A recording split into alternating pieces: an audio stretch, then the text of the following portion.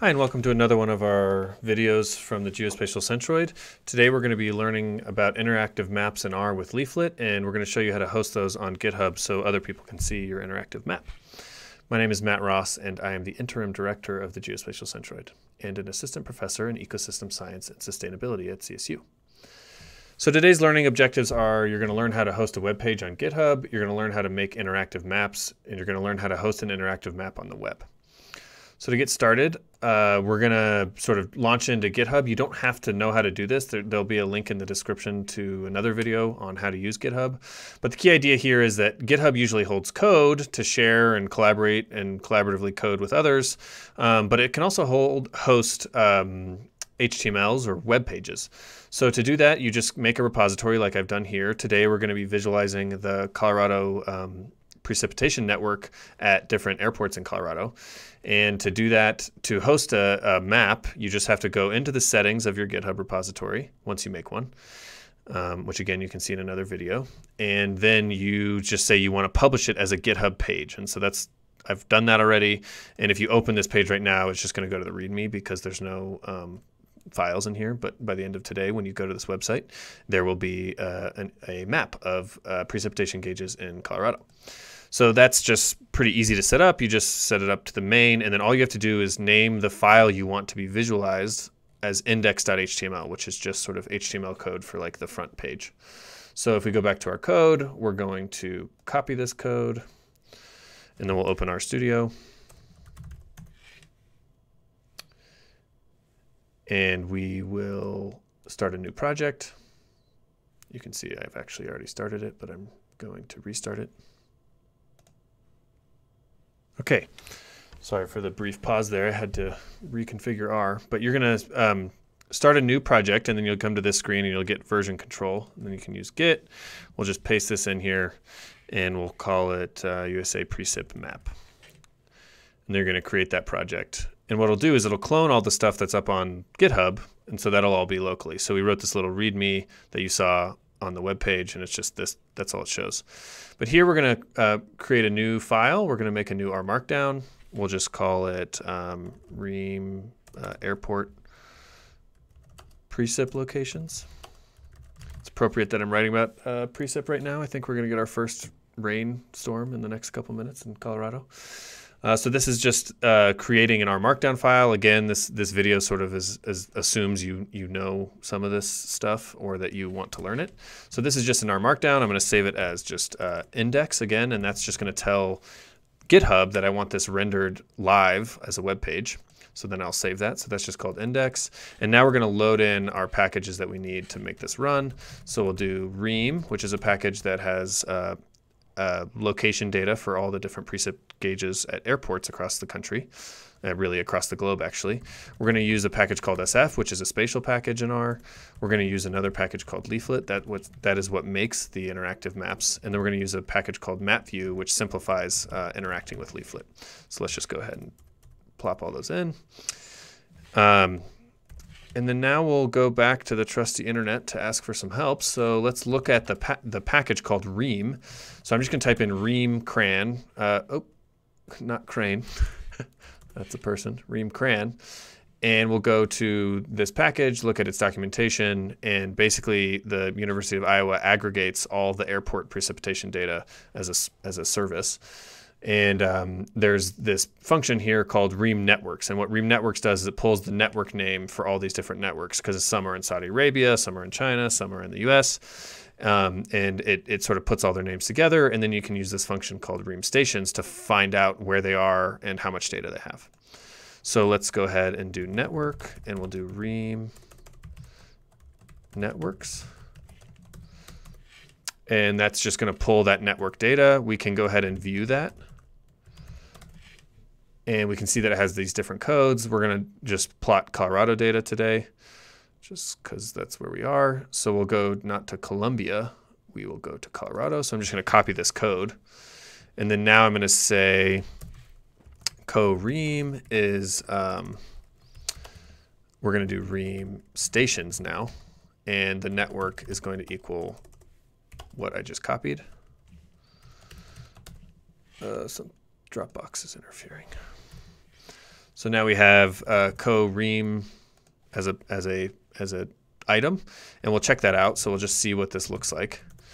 Okay, so it looks like it's a table, just like an Excel sheet if you use Excel a lot, that has an ID an, of, of the station, like at the Air Force Academy, a name for that station, and then long and lat. The problem here is this is not a spatial object. So if I do plot something like plot co riem, what R is going to think is I want to plot all the data against each other. Um, so that's just kind of useless in this case. Uh, what we actually wanted to see is if it's spatial data. So it's not spatial data yet. So let's make a spatial object and we'll call it co-spatial. And we're going to use this function from the SF package called st as sf. And what it's going to do is take a table, in, which is co-riem, and it's going to convert it to a spatial object. And we'll just do that using this function. We have to tell it the coordinates. So we have to say long and then lat because it's xy, not lat long which I always got confused in the past. And then I just know that I happen to know that its projection is WGS84. We can have another video on projections, but I'll just say is it's WGS84, which the EPSG for that is 4326. And the EPSG is just a shorthand code for projections. Again, probably a whole nother video on that. I think Beth maybe has one already, at least for her class she does.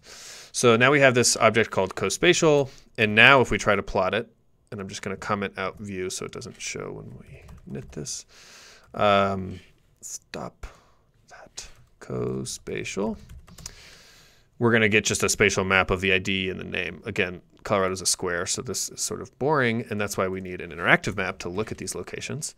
So here's where the leaflet part of this is. So I'm just going to call this little chunk area data acquisition. Oopsie and then we're going to make our interactive map. I compulsively save my code, and then that's why it's getting mad at me because it's um, trying to sync with Dropbox. So this we'll call interactive map. And here we're just going to use another, we're going to go back to the internet for help as a good coder always does. So I'm going to type in leaflet RStudio.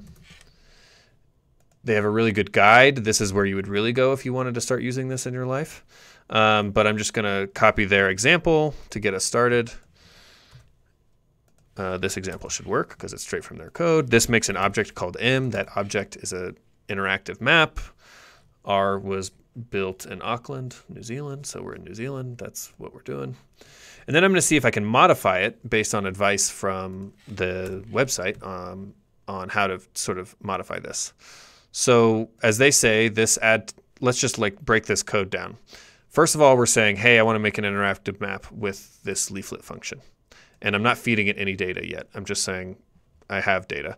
Then I want to add some base tiles. So this just adds OpenStreetMap. So that's what you're going to see when you zoom around. Uh, obviously, for all of this to work, you need to be connected to the internet because it's live streaming that map. Then you want to add markers. So this is the lat long. Um, for our demonstration, we're not going to use markers. We're going to use uh, cir circles. So if we go back up to RStudio, we can go to um, markers and see if there's other ways to add markers. So here they have this one where they add circles. And if you look, they're actually adding a data frame in here. So they're actually adding data to the leaflet call. And so that's the kind of syntax we will copy. So we're going to alter this code now a little bit. We'll say co-spatial because we have this spatial data set. We're going to delete this add markers and we're going to add uh, circle markers instead. And then we're just going to do, um, we're just going to call that new object. And so now we have a spatially explicit zoomable version of where all these um, maps are, but I find this still somewhat unsatisfying. Nothing pops up. It you can't really change the base map. You might want to see satellite imagery. You might want to see, you know, a dark image. Um, you can see all the different airports in Colorado, which is kind of cool. So this is DIA. Uh, there's a lot more airport network stations than you might think. Um, and so this is all the data when we have precip data in Colorado. It's it's coming from these 72 stations. But again, I don't find this map particularly uh, beautiful. So we're going to take a major short, shortcut and we're going to make an interactive map with MapView. And MapView is this amazing package that basically pre-codes a bunch of stuff for you to make interacting with Leaflet interactive maps way easier. So now I'm just going to use, this is the final line of code I will write. It's just going to be MapView co-spatial. And that's going to generate a sort of really nice interactive map that has a bunch of features that the other one didn't. So first of all, I can click on these and I get some geometry. I get the ID, the name. Um, I can also turn on the imagery, so I can sort of look at like what is the context. You can add uh, topography, so we can use the OpenTopoMap. That that's really useful in Colorado, of course, with big variation in elevation.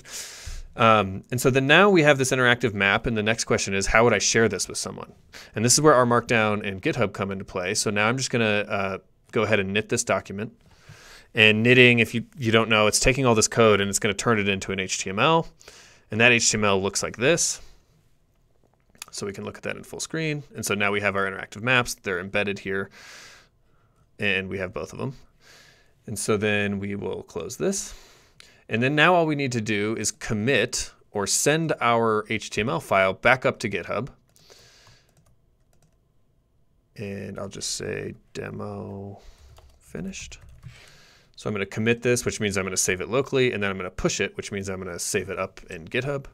And as soon as it gets up into GitHub, GitHub's going to say, oh no, they sent me a new index.html, and now I want to render that. So if we go back up to our GitHub site and we refresh it, we should have all of our code. And if you remember, I went, went into the settings to be able to host this online, and that spit out a link. This may be dead, and I may have to, because it takes a second. Yeah, it's going to take a second for it to render it. Um, so I will pause this video for a second, and then uh, once it renders the HTML, you'll see how it's hosted online, and you could just go to this website and see the maps.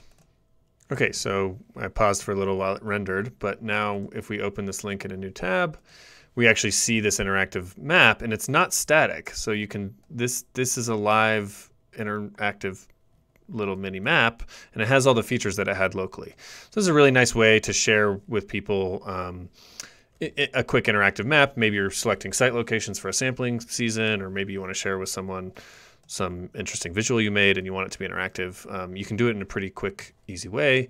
Obviously, you could make these maps more complex and more beautiful, um, but that was sort of just a quick introduction. I hope you found it useful. And if we'll just go back to our learning objectives, hopefully you learned how to host a web page on GitHub, you learned how to make interactive maps, and now you know how you can host that map on the web. Thanks so much.